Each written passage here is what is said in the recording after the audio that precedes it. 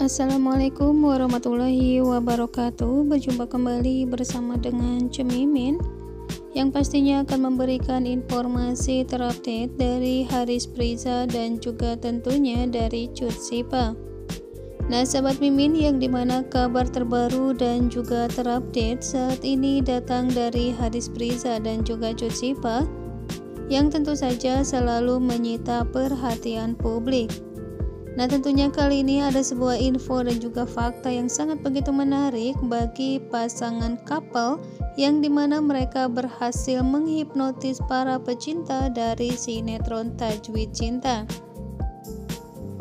Nah, sahabat Mimin, yang di mana sebuah kabar tersebut di sini diungkapkan oleh Cut Sipa dalam status sosial medianya bahwasanya dia tidak mau jadi orang ketiga.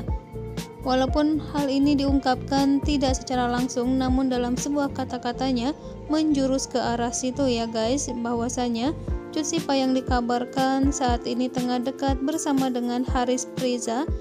Namun di sisi lain Haris Priza memiliki seorang kekasih sehingga hal ini tidak mengenakan bagi Cut Sipa dan dia tidak mau dituding sebagai orang ketiga ya guys ataupun pelakor sehingga tentu saja Cut Sipa pun selalu sedikit menjaga jarak ketika berada di lokasi syuting namun Haris Prizala yang selalu mendekati Cut Sipa untuk menanya ataupun hal yang lainnya.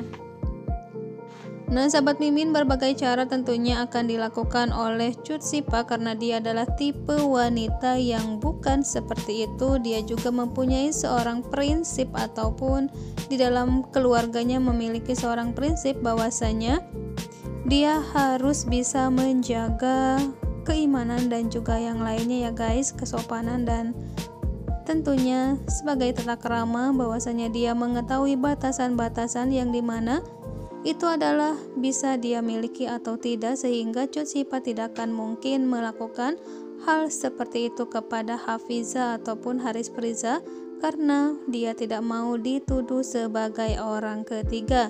Nah, sahabat Mimin, itulah informasi yang bisa Mimin sampaikan untuk saat ini.